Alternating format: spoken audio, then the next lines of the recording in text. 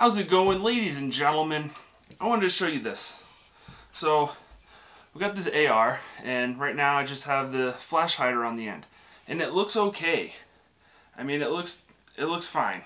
It looks decent. Got the handguard coming up all the way, and that's just so I can hold this kind of wherever's comfortable. And when my wife holds it, she's you know five foot one inch. She'll tell you five foot one and a half inch, but you know she'll hold it differently. So I liked having this long handguard. It looks fine with a flash hider, but I wanted to put a compensator on here. I just wanted to reduce uh, barrel movement while I'm shooting. My go-to was I wanted to put a compensator on here. But the problem is, well, let me show you what the problem is. When I put the compensator on, it just doesn't look right. I mean, it's it's on. I mean, it's a compensator. It's it's gonna work just fine, but I kind of didn't like the look. See how the handguard ends just before the barrel threads start?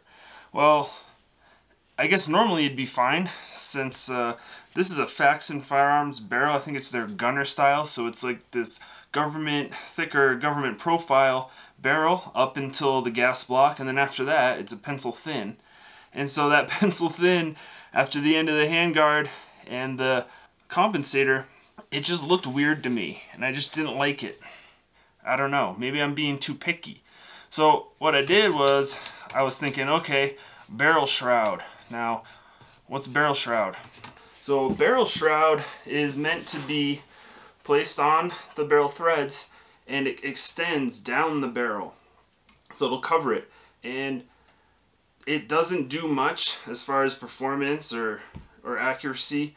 It's really just for looks, but it would solve this problem. You know, it'd look right. The barrel shroud will extend under these hand guards, and so that would solve the looks problem, but it would offer me no benefit to using it. I'd have no uh, no recoil reduction, no barrel movement reduction, nothing like that. So what I found is this is a barrel shroud compensator combination. And so it threads onto the barrel about here. And then you have the compensator. So I have all these ports. wonder if you can see the ports. Um, so it has the compensator properties, but it'll also extend underneath my handguard. That'll solve the problem for the looks. And I'll put a link below to my website where I just cover all the different kinds of muzzle devices and where you can get them where I got this one. But look at that. Now I think that looks a lot better. And I still get the compensator the shroud extends under the handguard so I get the look that I want. You know, I think that just looks better. So, barrel shrouds, yes, are just cosmetic, right? It's just for looks. You could argue that, hey, it's adding weight to the end of the barrel, that's going to help reduce muzzle rise, but, you know, adding weight onto your barrel also affects your aiming, getting onto target. Now you have this heavy weight on the end of the barrel. I gotta say, I haven't noticed any effect of a barrel shroud is so minimal that I would just, I haven't even noticed it.